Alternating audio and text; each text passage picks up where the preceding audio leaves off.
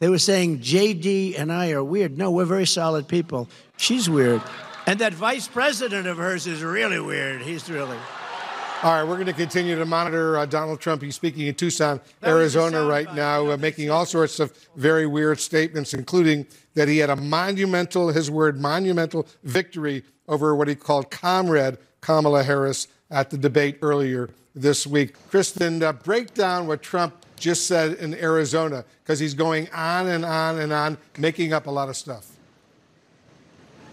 Yeah, I mean, well, most of this is him trying to relitigate the entire debate. I mean, we've been hearing him now for something like 15 minutes go through eh, line by line various attacks, but now he is in front of a very friendly audience who is cheering him on. As you said, he said he had a monumental victory. At one point, he said that they won with women and independents. Of course, as we know, our polling did not show that.